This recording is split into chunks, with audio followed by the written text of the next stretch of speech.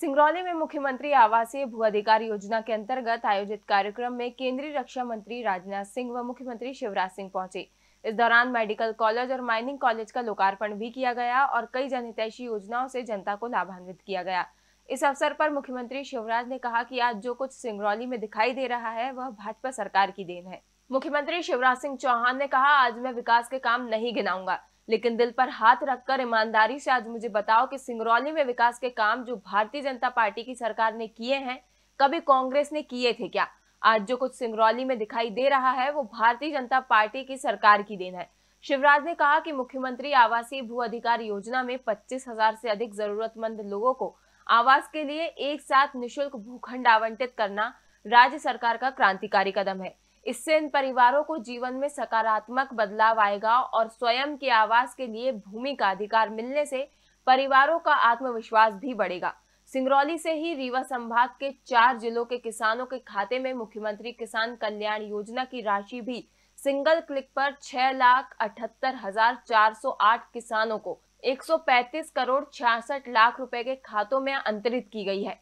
साथ ही सिंगरौली में medical college, mining engineering college और CM rise school, Harriwaha Baidan एवं चिकारिया एवं चकरिया का शिलान्यास भी किया गया। मुख्यमंत्री शिवराज ने कहा, हम सीधे सिंगरौली रोड के निर्माण को जल्द से जल्द पूरा करेंगे। विकास की दौड़ में सिंगरौली पीछे नहीं रहेगा। यह मध्य प्रदेश के विकास का इंजन बनेगा।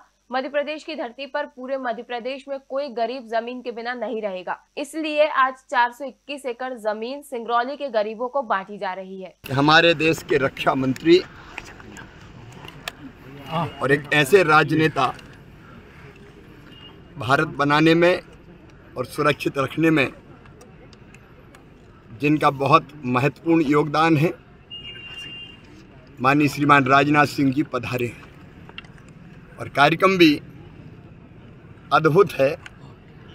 हमारे वो भाई बहन, जिनके पास रहने की जगह नहीं थी। एक परिवार बढ़ते बढ़ते इतना बड़ा हो गया कि छोटे से घर में रहने की जगह नहीं बची। और इसलिए हमने तय किया कि एक परिवार मतलब पति, पत्नी और उसके बच्चे, उसको रहने के लिए निशुल्क प्लाट उपलब्ध कराएँगे क्योंकि जब इस धरती पर जन्मा है तो इतना हक तो उसका है ही कि रहने की ज़मीन का टुकड़ा उसका अपना हो। कई जगह ये गरीब भाई बहन कहते थे कि किसी की जगह में रहते हैं तो डराए जाते हैं धमकाए जाते हैं ये करो नहीं तो हटा देंगे। अब ये प्लाट उनके अपने हैं ये ज़मीन उनकी अपनी है और आज सिंगरौली ज़िले में ऐसे पच्चीस हज़ार पाँच सौ परिवारों को ये प्लाट वितरित किए जा रहे हैं। मेरा तो रोम रोम प्रसन्न है। उनके चेहरे का आनंद देख के बच्चों के चेहरे की खुशी देख के और इसी कार्यक्रम के लिए मुख्यमंत्री भू आवासीय अधिकार योजना के इस कार्यक्रम में अपने हाथों से इन गरीबों को अधिकार पत्र देने ज़मीन का राजनाथ जी बताया रक्षा मंत्री राजनाथ सिंह ने मध्य प्रदेश के मुख्यमंत्री शिवराज सिंह की तारीफ़ करते हुए कहा कि मध्य प्रदेश सरकार की यह योजना प्रशंसनीय है। गरीबों का कल्याण हमारी प्राथमिकता है। उन्होंने सीमा पर चीनी सैनिकों के सामने भारतीय सैनिकों के पराक्रम का ज़िक्र करते हुए राहुल गांधी की भारत जोड़ो यात्रा पर भी निशाना साधा। राजनाथ सिंह ने कहा कि अब भारत बदल चुका है। उन्होंने कहा कि क्या भारत टूट रहा है जो भारत जोड़ो यात्रा हो रही है? भारत को पहले जितना टूटना था, टूट चुका। उन्होंने कहा कि मैं राहुल गांधी से पूछना चाहता हूँ कि देश में नफरत पैदा करने का काम कौन कर रहा है? युवराज सिंह जी चौहान को मैं बधाई देना चाहता हूँ। उन्होंने बहुत ही पुण्य कार्य किया है। जो भूमि है भूमिहीन है उनके लिए प्लाट आवंटन का कार्य आज बड़ी संख्या में किया है। जो मुझे जानकारी प्राप्त हुई है उनकी संख्या संभवतः लगभग पच्चीस हज़ार से है। जहाँ तक भारतीय जनता पार्टी का प्रश्न है जहाँ हमारे प्रधानमंत्री मोदी जी भी बार बार यही कहते हैं गरीब का कल्याण ये हमारी प्रतिबद्धता है। गरीब का कल्याण ये हमारे लिए मंत्र है। गरीब का कल्याण ये हमारे लिए प्रेरणा है।